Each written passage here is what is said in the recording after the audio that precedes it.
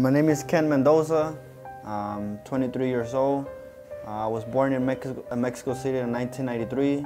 Uh, I came to the United States when I was six years old.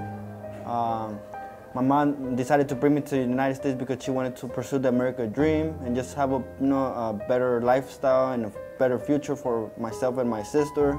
Um, and uh, yeah, so you know, uh, growing up from the age of six to 13, in the, once already in the United States, um, there were several factors in my life that um, led, that contributed to me making decisions at an early, during my teenage years that ended up me in jail, you know, in the justice system.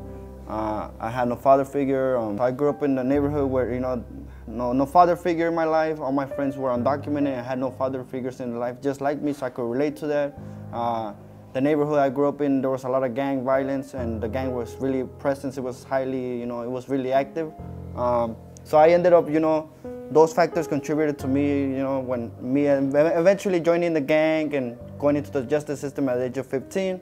Uh, I went for an 18-month uh, camp program, uh, but because I didn't get it and you know incarceration was not serving me to help me, I was just fighting and getting into more trouble that eventually I ended up maxing out to 18 months, a year and a half.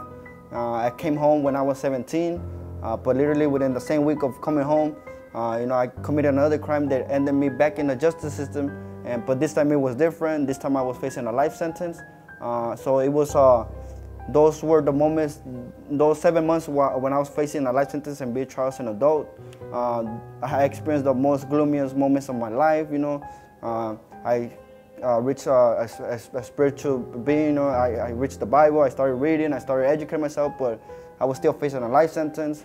Uh, not until um, a mentor came into my life, who is my boss now for my nonprofit that I work for, he uh, he just started coming to visit me every weekend and at the beginning I didn't like him because you know he's white and I'm like I don't feel comfortable. I'm not used to someone coming to see me because they see potential in me or just because they just I don't know they they see something in me that I don't even see in me you know? So it's not it's not normal. Uh, and eventually because he was there you know he instilled that that that um, that possibility that me I could that I could probably possibly change in the future. Um, so after, you know, seven months of fighting this life sentence, uh, I was one of those fortunate individuals who beat that life sentence. Uh, a lot of kids don't get to beat that life sentence. There's plenty of kids who, you know, right now that I know who are in prison and they're my age, and I was locked up with them when I was 15. So I, am lucky and I, was, I got blessed. Uh, that didn't mean that I didn't do no time. Now, even though I beat my life sentence, I was sent back to juvenile court. Uh, and uh, in juvenile court, I, I took a deal of seven years in a strike.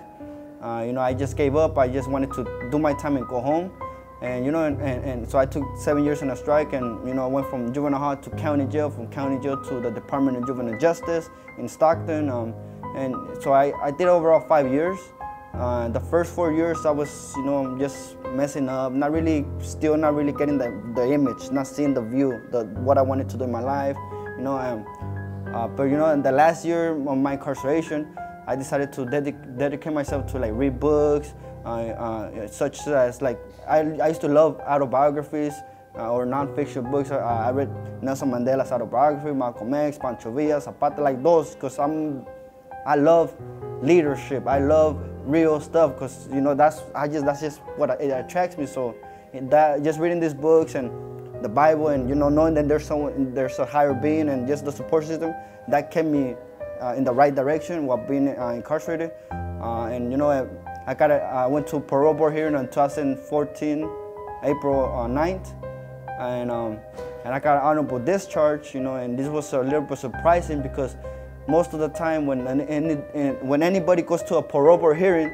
they uh, are denied the first time, you know, and they're always tell, oh, you gotta come back a year later or six months after. But I guess because I had demonstrated a transformation and and I was a leader within jail, I was like a mentor to a lot of young kids.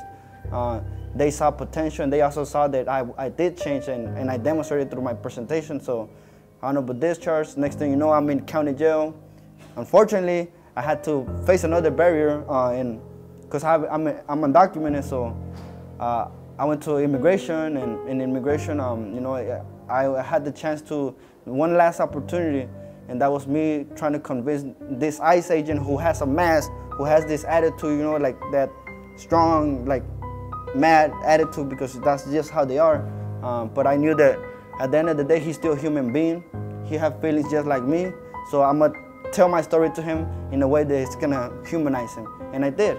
So I told him how I used to be, how I used to think, what I used to do, what I've done, and what I would love to do if I was to get out.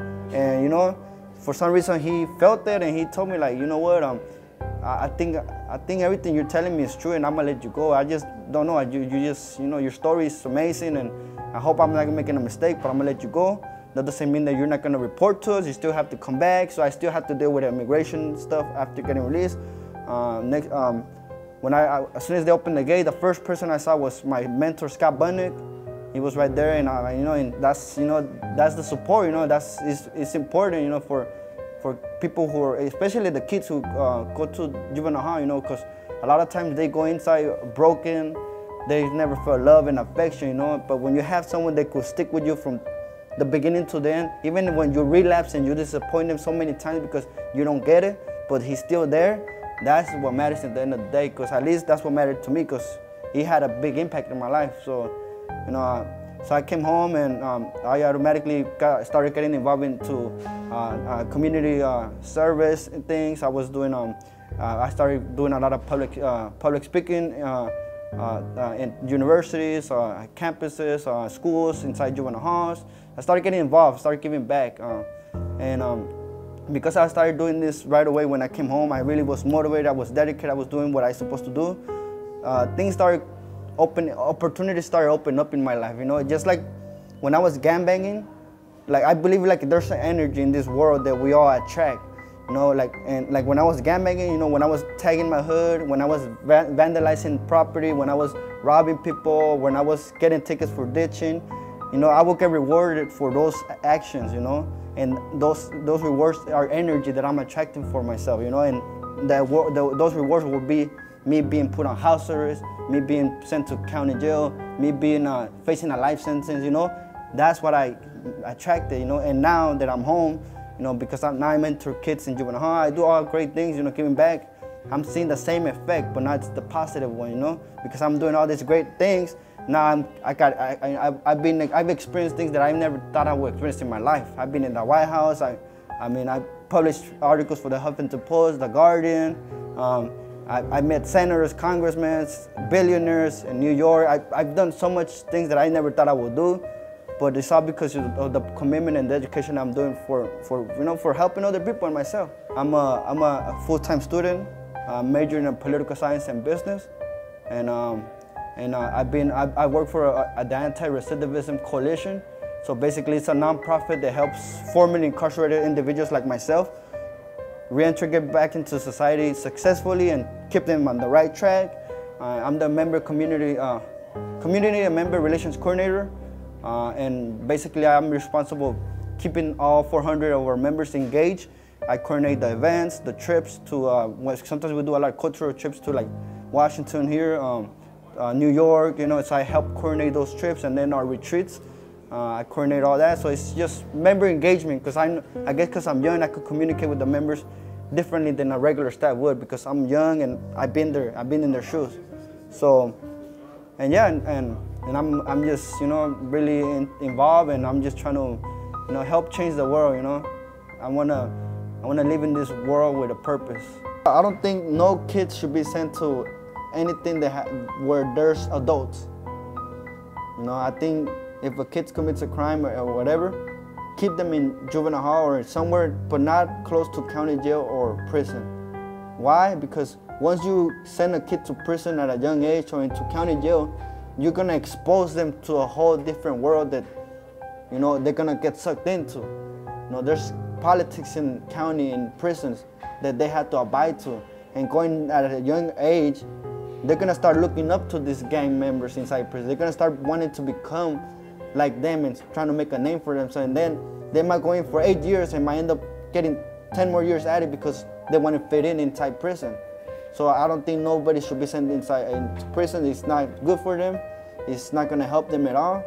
Uh, we should keep them in juvenile or some institution where the point is not for punishment, but not for punishment, but for rehabilitative purposes, where you offer programs, school, trades, and things. So when they come home, they are ready to to continue to be uh, to stay on the right track, you know. And they're young; they're gonna come out young. So you have the you have to really um, provide them all these resources because this is the critical time for them to like hit them and change them right there. Because if we don't get them at that time, they're gonna easily get influenced by other guys. They're gonna go the wrong the wrong path, and we don't want that.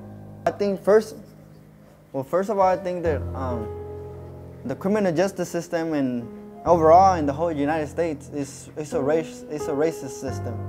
Uh, the reason why is because if you see the people who are locked up, the majority or most of it, like 90% is is either blacks or African American. I mean African Americans or, Mexicans, right? Or Hispanic or you know people of color. Uh, and and sometimes it's because they are they come from communities that are not they don't have good schools, or if they do, they're not well funded. So the teachers don't teach with passion.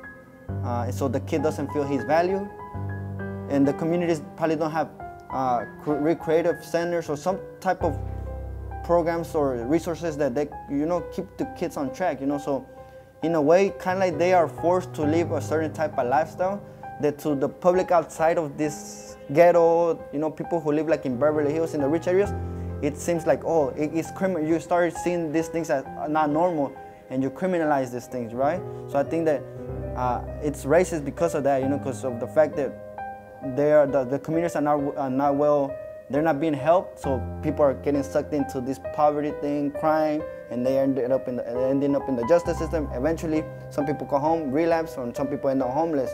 So it's um, so I think racism has a big role in the whole criminal justice system overall, uh, and that's how that's where it started from. That's the root of it. The root starts from the Jim Crow to mass incarceration. That's the root root. So um, the LA County Board of Supervisors, uh, Supervisor Mark Ridley-Thomas and Sheila Hughes, they started a, a, subcommittee called the Youth Diversion Committee, and it's exactly about that. You know, it's basically a committee where uh, experts around this issue, you know, uh, from people who are formerly incarcerated to family members to the police to, you know, just people of the community who work on these issues. Uh, we meet every month, every uh, month, and talk about what are best ways to prevent what is an alternative for instead of sending once a kid gets in trouble to, instead of sending to pro, uh, to camp or juvenile hall what can serve you know and i think that we could have like some type of um, recreational centers or programs in the community where people from the community work with these individuals you know people even formerly incarcerated individuals that work with these kids because uh, i feel that they have a better understanding of the needs of these these kids need and the communication it's different, you know, because we understand, you know, formerly incarcerated individual is gonna understand someone who just got out of prison and could see what, you know, like if the what the person really needs. Uh, so I think just you know programs in the in the community, you know, just uh, after school programs, summers camp program, um, uh, just centers where people can go hang out, and if people get in trouble, probably send them to a center, do a little time in the center, and the center probably might consist of uh, you have to wake up early and go to, you have to play basketball, you have to go to boot camp, you have to, you know, go to school. Like that's what, that's a jail. That's how it's supposed to be. Somewhere where you're actually getting something out of it and you're not being dehumanized and you're not losing your self-esteem and you come home and start doing bad things all over.